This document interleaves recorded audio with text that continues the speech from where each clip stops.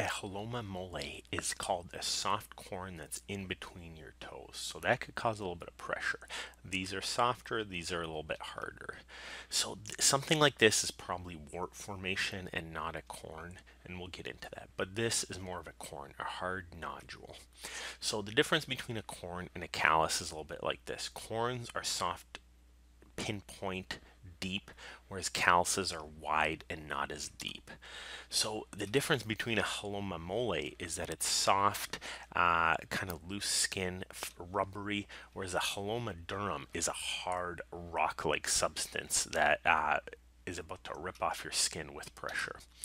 Here's what happens. Sweat glands get plugged and it basically forms a clog and a spike. That's what initially starts this and a big callus forms over it.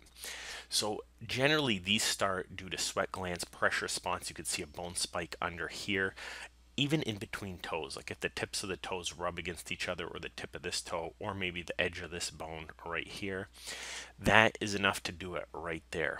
So this is what you could end up with when you're doing a lot of walking and a lot of weight on your feet.